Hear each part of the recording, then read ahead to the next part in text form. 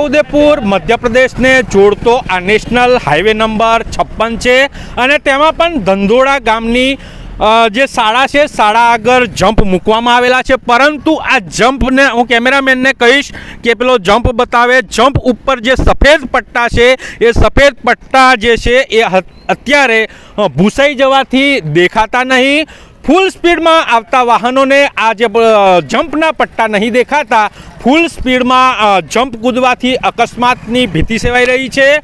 ગત રાત્રિના સમયે જ કોલસો ભરેલો એક જે ટ્રક છે, એ ટ્રક ફૂલ સ્પીડમાં જે જમ્પ કૂદી જતા, જે કોલસી છે, કોલસી જે છે, એ વિપુલ માત્રામાં ઢોળાઈ છે. સદનસીબે ટ્રક પલટી નહીં મારતા અકસ્માત નહીં થયો. પરંતુ હાલ પણ જોઈ શકો છો કે વાહનો જે છે, એ વાહનોના ડ્રાઈવરોને આ જમ્પ પરના સ્પીડના, સ્પીડ બ્રેક જે છે, એના પટ્ટા નહીં દેખાવાના કારણે ફૂલ સ્પીડમાં જે વાહનો પસાર થવાથી અહીંયા અકસ, ઘણા બધા અકસ્માતો જે છે, એ અકસ્માતો સર્જાય છે. કઈ વાહનો જે છે, એ વાહન ચાલકને આ પટ્ટા જો સફેદ દેખાય તો તેવા એ સ્પીડ ઓછી કરી શકે.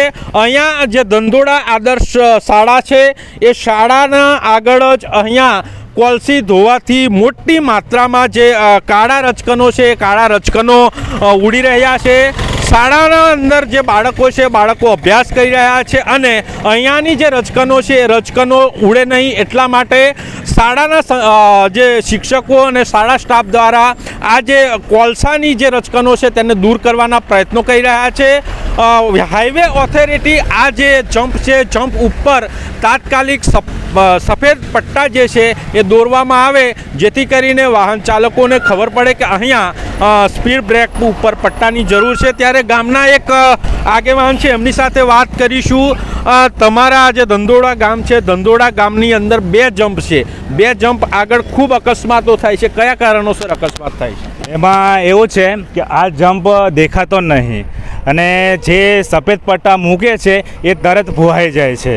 અને એમાં હું એવું કરું છું કે જ્યાં વર્ષે બી અકસ્માત થયા છે, કેટલા માણસો પડે છે, રાતે બી પડે, દિવસે બી પડે છે, નાના છોકરાઓ બી પડે છે, અને લેડીસોથી એક સાઈડ પર બે જોરથી કૂદાવે, લેડીઝ બી પડે છે, અને બે વર્ષ આગળ પડ્યો તો એક જણ, બાઇક લઈને તે ત્યાં ત્યાં મૃત્યુ થઈ ગયું હતું અને અહીંયા જે સફેદ પટ્ટા મૂકો અને લાઇટની વ્યવસ્થા બી થાંભલો બી નજીક છે. લાઇટની વ્યવસ્થા કરો અને લીલી આપણે જે નાઇટમાં જે લાઇટ હલગે છે એ લાઇટ મેલો. આ પેલું મૂક્યું છે, પણ એમાં એમાં એ નહીં દેખાતું. એ ફૂંકાઈ જાય છે અને નીકળી જાય છે.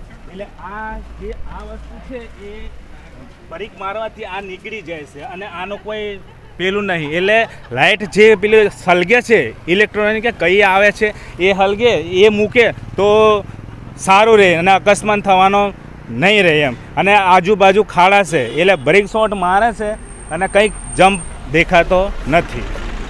અહીંના સ્થાનિક લોકોના જણાવ્યા મુજબ આ સ્પીડ જે બ્રેક છે એના ઉપર જે લાઇટો રાત્રિના સમયે લાઇટ સળગી શકે.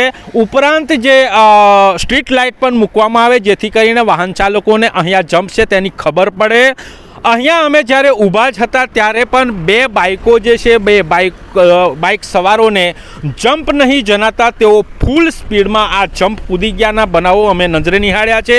ત્યારે હાઈવે ઓથોરિટી આ તાત્કાલિક ધંદોડા ગામના બે જમ્પ ઉપર, સફેદ પટ્ટા ઉપરાંત સ્ટ્રીટ લાઇટ અને જમ્પ ઉપર સડકથી લાઇટો મૂકવામાં આવે તેવી આ ગામના લોકો અને રાહદારીઓ માંગ કરી રહ્યા છે. રાજેશ રાઠવા, પિઠોરા સમાચાર, છોટાઉદેપુર.